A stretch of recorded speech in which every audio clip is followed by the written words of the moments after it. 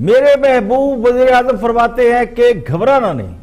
और अब की बार ये बात उन्होंने कश्मीर के हवाले से की है।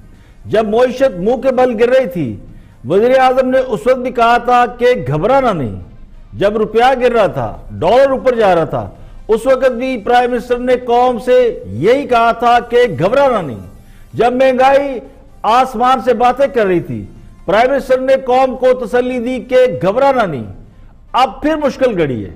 और वज़ीर आज़म ने फिर कहा है कि घबराना नहीं, कौम की घबराहट बढ़ती जा रही है। कश्मीर में लोग मैसूर हैं। भारत ने कई हफ्तों से कर्फ्यू लगा रखा है। लेकिन हम दुनिया के ज़रिए इतना नहीं कर सके कि कश्मीर में कर्फ्यू हटवा देते। हम दुनिया के लोगों को इकट्ठा करके कश्मीर के बॉर्डर पर नहीं ले जा सके कि उन्हें यह पता चल सके कि कश्मीर जेल बन चुका है। इसलिए घबराहट बढ़ रही है। अब हम जुमे के जुमे एहतजाज भी करेंगे। कई सालों से हम योमल कुद्स बनाते हैं। फलस्तीनियों के लिए हर जुम्मे के बाद एहतजाज करते हैं। लेकिन दुनिया ये एहतजाज नहीं सुनती। और वज़ीर आज़म फिर कौम से कह रहे हैं कि फ़िक्र ना करें। घबराना नहीं तो चलो नहीं घबराते। लेकिन करना क्या है? बजाय तो यही लग रहा है कि कश्मीर की जंग या तो सोशल मीडिया पर लड़ी जा रही है, या टॉक शोज़ में फतुहात के झंडे गाड़े जा रहे हैं। और अब हम जुमे के जुमे आधा घंटा एहतजाज करके भारत को नानी याद दिला देंगे। सवाल ये कश्मीर का मसला सिर्फ़ प्रोटेस्ट से हल हो जाएगा। इस पर मुझ समेत बहुत से लोगों को शदीद तहफात है। कभी कभी फौज ऐसी बात करती है कि हमारा खून शेरों बढ़ जाता है। और कभी कभी हुक्मरान जमात ऐसी बात करती है कि गड़ो पानी पड़ जाता है। जनरल आसफ गफूर के मुताबिक, ये एक ट्वीट उन्होंने किया, जो मुझे बड़ा ज़बरदस्त लगा। आसफ गफूर के मुताबिक बेहतरीन हमत अमली वो नहीं जो दुश्मन प्रिडिक्ट कर रहा हो, उसकी तो के एन मुताबिक हो, बल्कि बेहतरीन हमत अमली वो है जो दुश्मन की तो के बरक्स हो, उसे हैरान कर दे, यानी सरप्राइज़ हो। इससे तो लगता है कि हम हाथ पर हाथ धरे नहीं बैठे, बल्कि कोई ना कोई ऐसी हमत अमली ज़रूर रखते हैं जो दुश्मन को सरप्राइज़ कर देगी।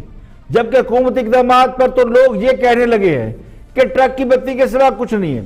कश्मीर में आर्टिकल 370 की मनसूखी के बाद नरेंद्र मोदी दुनिया के बड़े बड़े रहनुमाओं से मुलाकातें कर रहे हैं।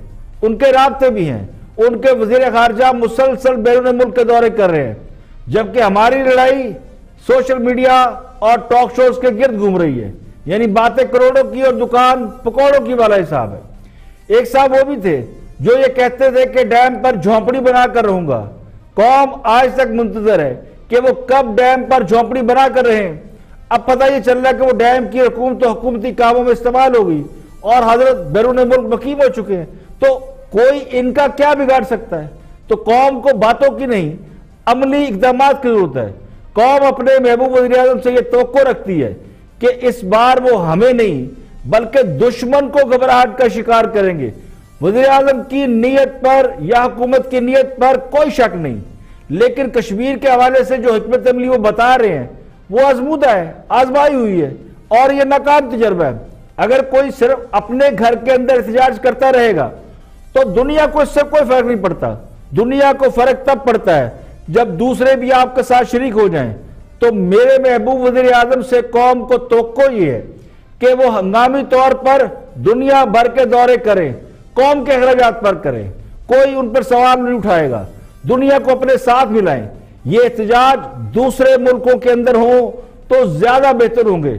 हम तो वैसे भी इस मामले में फरीक है और खास हमेशा क्या करते थे कि न्यूट्रल अंपायर चाहिए। न्यूट्रल अंपायर के बाद ही जो है वो नतीजा सही निकलता है।